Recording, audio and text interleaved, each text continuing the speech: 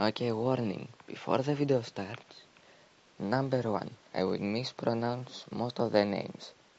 Example, Jirka as Jirka, don't ask why. Two, Leo, I don't know how he wants it.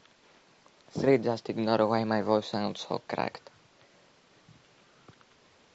So, it's race day. Yay. I'm starting P7 with my teammate Jirka P4. I'm not good at quali, so shoot. We're off. Jirka chokes a bit at the but still manages to stick to the top 8. Meanwhile, I'm P5 behind Tail, Suka, Daniel, and Region. Some laps go by, we start pulling away from the top 6 and I am sticking with Region. Papa, who is reserving in EU, is starting to catch up. Because me and Region are having the fucking best fight ever for P4.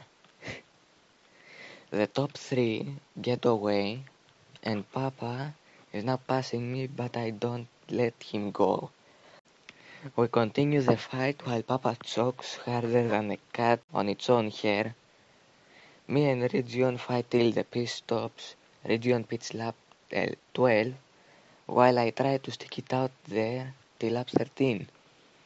I cut like three corners, and after the pits I'm behind Leo and Enzo.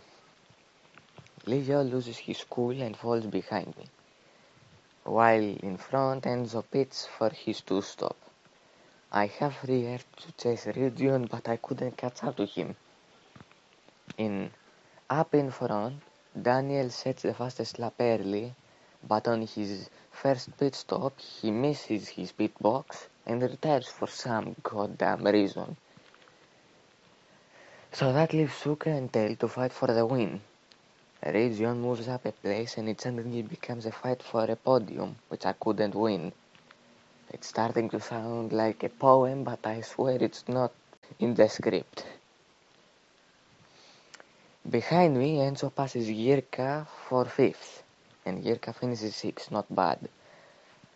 So, what happens now? Tel and Region are in first in the constructors with 38 points.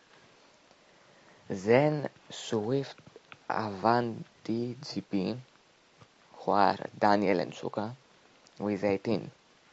Then me and Jirka La Punto Motorsport round out the top three with 16 points.